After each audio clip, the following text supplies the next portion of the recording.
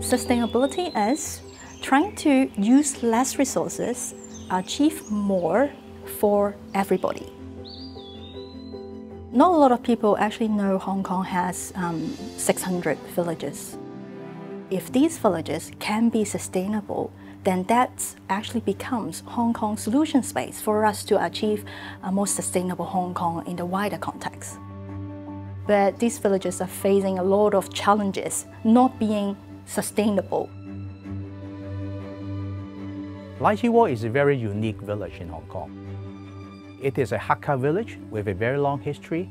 It's very remote from the urban center, so basically the uh, physical structure and the community structure actually has been maintained very intact. That provides a very good site for us to study the community. 香港嘅偏远乡村咧，大概七十几条。其实我哋面对紧就系会变成废村。 呢啲村裏邊咧，所有屋都係俾啲榕樹霸晒，全部冧晒。荔枝窩點解保存到今時今日咁好咧？因為有一班喺呢度長大嘅細路揾到錢，仲 keep 住佢間屋到而家。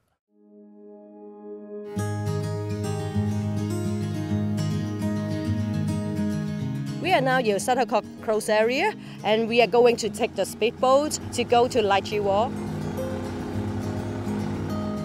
When we first come here, uh, we feel that wow, this place is so wonderful, so beautiful.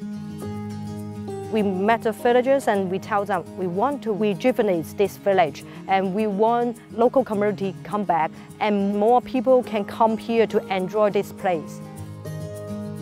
We're trying to reactivate the farmland using eco-friendly methods, low-carbon farming methods.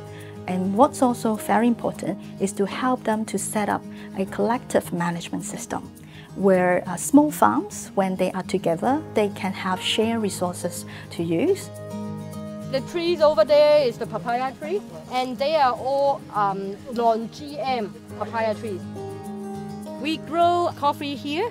If the coffee is good, the cost efficiency is uh, feasible and also the environmental uh, results is good, we will promote to the landowners and explore a way to create a new type of crop productions in Hong Kong.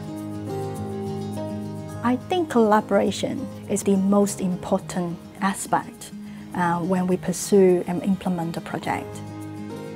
The Lai Chi project actually is a collaborative effort by the University of Hong Kong and stakeholders in the community to try to revitalize the village. By revitalization, we are talking more than the reintroduction of agriculture. We are trying to rebuild the community here.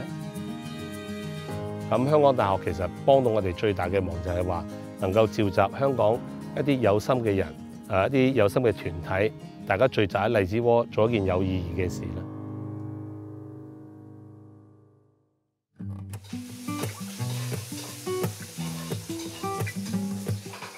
Uh, cooking Chinese sausage and vegetable. We come to Lai Chi Wo all the time and we make good friends here. We see each other as almost like a family.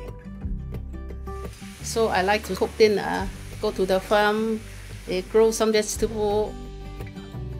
Most importantly is the people there.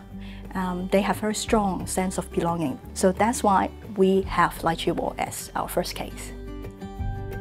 This is a very new type of knowledge exchange, I believe, uh, in Hong Kong.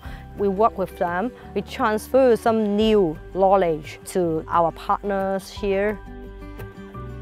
We want to be able to develop and say that this is a feasible model for us to revitalize a village community. And then this village community, not only they are vibrant, but at the same time, they do have a good sense of stewardship where they will help look after the natural environment. These two years of the Chi project development is that we try to apply some of these principles that we gather from the project and we're already applying some of these in five other villages in Hong Kong. Some of the research findings, I was able to bring those back to the classroom and share with the student We were recognized by the International Traveler's Book, The Lonely Planet, being uh, one of the top Asian must-visit spots we're very pleased to be recognized by the United Nations Development Programme, being one of the best nature-based solutions. Um, we have actually six solutions being now listed on their international database. 条村应该点样发展先至系啱嘅道路呢？其实而家做紧呢个试验， 我覺得係比較行得通嘅一個一個方法啦。香港大學有呢個計劃，又多謝匯豐銀行嘅捐款，我哋先會持續落去。我希望下一代更加知道自己係荔枝窩人，世界嘅人嚟到覺得荔枝窩係好舒服，俾翻嗰一個咁嘅自然環境嘅哋。We basically do not have the other Earth, so I don't usually think of what if. If this is the right direction, if this is a way forward that we have, then just go for it.